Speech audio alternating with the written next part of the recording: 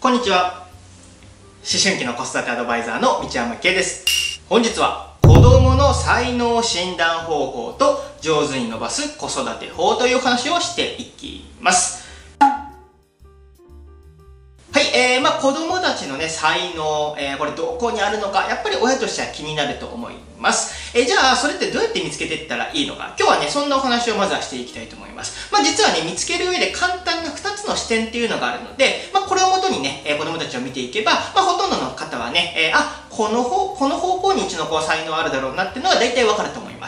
で、もう一つは、じゃあその才能を見つけた時に、どのように伸ばしていったらいいのか。まあ、これはいわゆるね、子供の将来のこの進路設計ですよね。え、これをきちんとできるかどうかで才能が伸びるかどうかって大きく変わってくるんですよね。なので、その方法もね、え、一緒にお話ししていきたいと思います。えー、才能がね、しっかり見極められるかどうかで、その子の人生っていうのは大きく変わっていくと思いますので、えー、ぜひね、参考にしてみてください。はい、じゃあまず最初に才能を開花できる子とできない子の違いっていう話からね、していきたいと思います。えー、子供の才能。まあこれ子供以外にね、えー、誰でもそうなんですけど、まあ、才能を開花できる子とできない子では、もうその後の人生が大きく変わります。例えば、開花できる子。えー、できる子の場合はですね、まあ、どういう人生になるのか。まずね、え、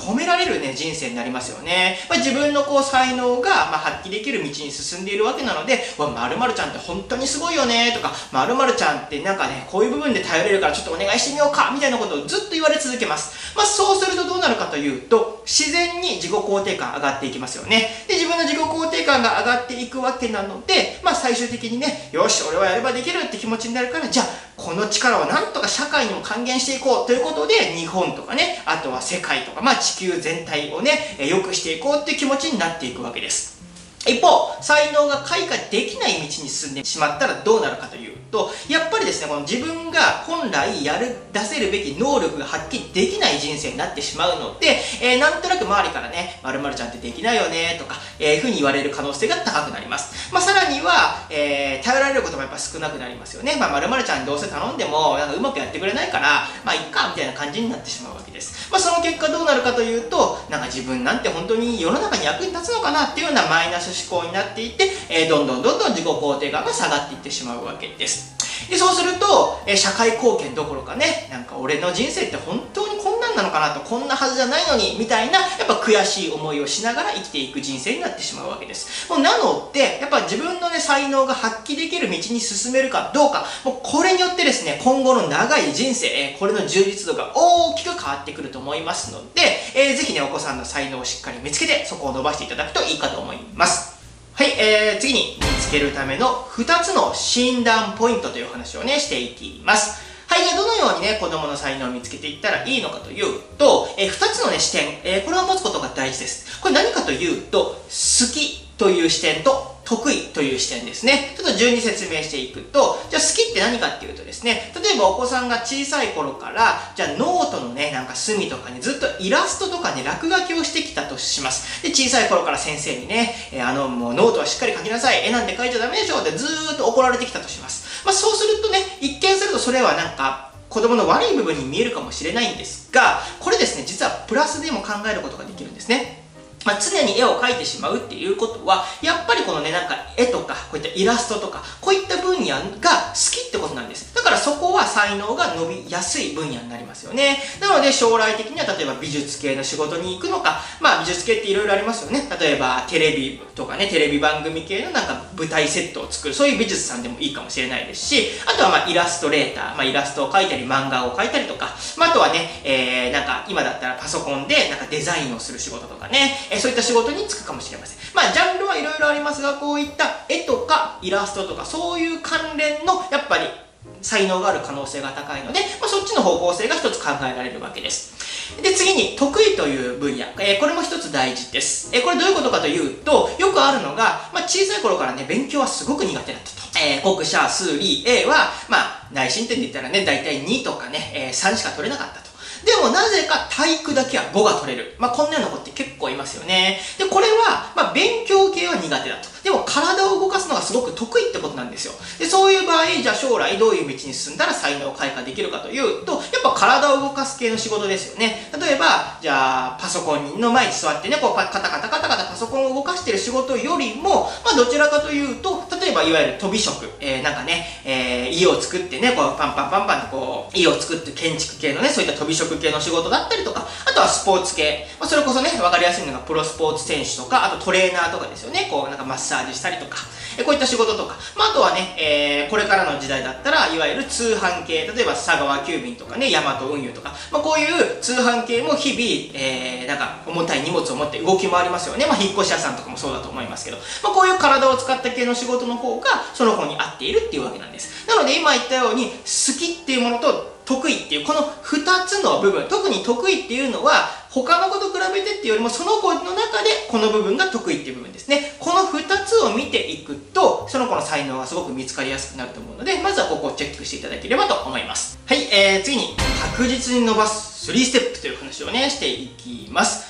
はい、じゃあお子さんの才能が見つかったら、えー、どのように伸ばしていったらいいのか、もうこれ確実に伸ばしていくためにね、え大事な3ステップがあるので、ここをお話ししていきたいと思います。えー、まずステップ1、えー、こちら何かというと、愛情バロメーターを上げるっていうところですね。まあ、この YouTube チャンネルでもね、再三お話ししてきている内容だと思うんですけど、まあ、いわゆるね、えー、子供たちの心の中には愛情バロメーターっていうバロメーターがあるんですね。えー、お父さんお母さんの愛情がきちんと子供に伝わると。そうするとこの愛情バロメーターがぐーんと上がってくるわけです。で、ぐーんと上がってくるとどうなるかというと、まあ、子供たちというのはね、えー、このバロメーターが上がると自信を持つことができるようになるわけです。今回ね、このメカニズム、詳しいメカニズムについてはちょっと割愛しますが、まあ、簡単に言うと愛情が伝わると、えー、自信を持つというふうに思ってください。で、自信を持つとですね、例えばじゃあ絵の分野、なんか絵の分野で自信があるんだったら、もしかしたら俺将来なんかイラストレーターで日本一になれるんじゃないかな、みたいな根拠のない自信を持てるようになるんですね。で、これがものすごく大事で、やっぱり最初からね、根拠がある方なんていないわけです。最初は根拠のない自信からスタートするわけですね。でもその自信をもとに頑張っていくと、いろんな結果ができ出てきて、最終的にそれが根拠になって、やっぱり俺できるかもっていう確信に変わっていくわけなんですよ。だから、きちんとこの愛情バロメートを上げていくってことがね、すごく大事になるかと思います。で、次に2つ目。特定ジャンルで分野を広げるってことです。これ何かというと、例えばじゃあ絵の才能があったとします。この時に、まあじゃあイラストレーターを将来目指してこの道だけを進んでいこうっていうのはやめてください。えー、これなんでかというと、ちょっとね、最初の段階では視野が狭すぎます。この絵のジャンルで何か才能があるなと思ったら、それの類似ジャンルもいろいろ勉強させたり経験させたりしていくことが大事です。まあ例えば、えー、一つじゃあ絵が好きだったら映画っていうジャンルがありますよね。で、映画っていうジャンルはやっぱり、なんかそういうね、えー、絵とかイラストとかが得意な方たちがこう作っているわけなんですよ。だから将来ね、そこを例えばじゃあいろんな好きな映画をね、じゃあ例えば月に1本でもいいから見ていったら、もしかしたらその道に進みたいってなるかもしれないですよね。とか、あとは建築っていう分分野もありますよね。なんかものづくり。やっぱこれも絵と完全に一致してるわけではないんですが、やっぱこう絵をね、描いたり、なんかその、じゃあ建築のね、家を建てるときにはね、家の絵を描くわけですよ。だからやっぱりある程度こういった絵を描く能力がある人がこの建築の分野で活躍しているわけです。で、あとは、えー、ゲームを極めるって方法もありますよね。というのは将来ゲームクリエイターという仕事、やっぱこれも最初はこう絵とかイメージとかでやっぱ作っていくわけです。だからそういう力は必ず必要になるわけです。なのでこういう類似ジャンルの経験をいろいろさせていくことで、まあ、得意プラス好きのこの本当に好きなものが何かっていうのを見つかってくると思うので、えー、こういった感じでね、特定ジャンルの分野を広げていきましょう。で、最後、ステップ3つ目。えー、これ何かというと、才能を活かせる道に進むっていうことです。えー、どういうことか。せっかく絵のね、じゃあ才能があったということが分かったのに、じゃあ例えば、えー、じゃあ農業系のの学校に進んでしまったら、まあ、若干ね、えー、農業ってだったら何か活かせるとこあるかもしれませんが、まあ、最適な進路ではないですよね。え、どうせなら、この絵がね、活かせる、えー、じゃ例えばじゃあ部活がある、なんかイラスト部があるとかね、え、そういったところなのか、もしくはもう絵に特化した美術系の高校とか大学に進んでいくのか。やっぱそっちの方がその子の才能は活かしやすくなりますよね。なのでそういう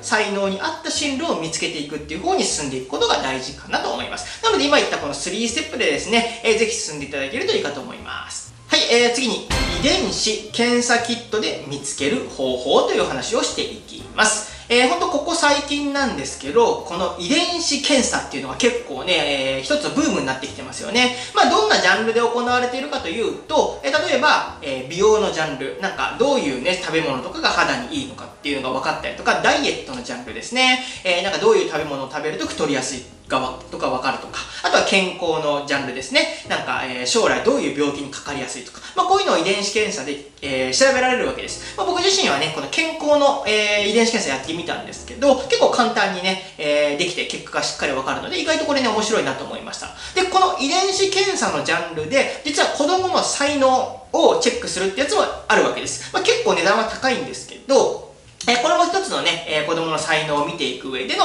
一つのね、基準にはなるかなと思います。まあ、一応ね、えー、いくつかある中で僕なりにこれは結構ね、えー、信憑性高そうだなと思ったものを詳細欄に一応貼っておきますので、まあ、もし興味があったらね、こちらも参考にして、えー、お子さんの才能をチェックしていただければと思います。はい、ということで今回はね、え、本当に子供の才能を見つけるステップをね、えー、いろいろお話ししてきたんですが、まあ、あくまでも動画です。本当にポイントしかお話ししておりません。もう少し細かい説明、えこちらはですね、えこのページの詳細欄の方に URL 貼っておきます。よかったらこちらも参考にして、ぜひ才能を開花して素敵な人生を送ってください。